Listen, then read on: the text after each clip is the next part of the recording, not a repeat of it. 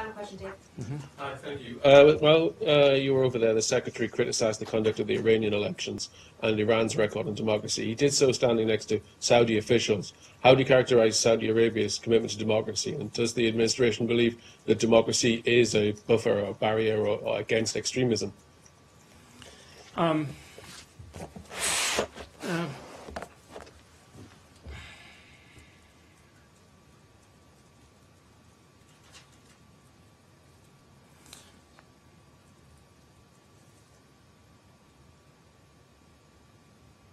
I think what uh, we'd say is that uh, at this meeting, we were able to uh, make significant progress with Saudi and GCC partners in uh, both making a strong statement against extremism and also um, and also putting uh, putting in place certain measures through this GCC mechanism where we can combat extremism clearly one source of extremism, one sort, one uh, terrorism threat is coming from Iran.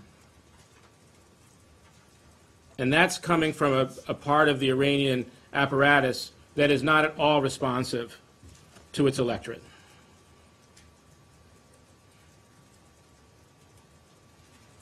Okay, thanks.